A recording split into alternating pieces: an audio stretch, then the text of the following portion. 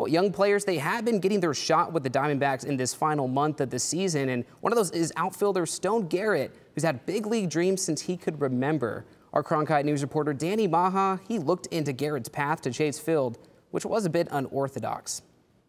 Stone Garrett was drafted by the Marlins in 2014 and began to rise up in their farm system.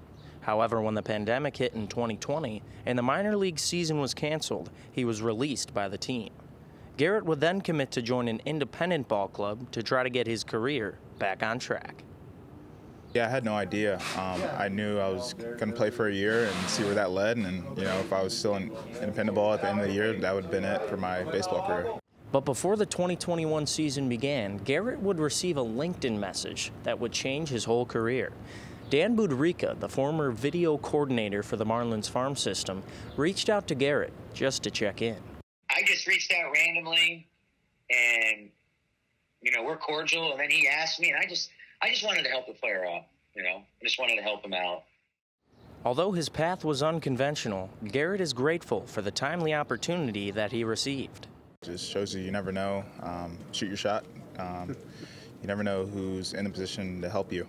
From the farm to job searching to the big leagues, Stone Garrett has proven that a dream can be just around the corner.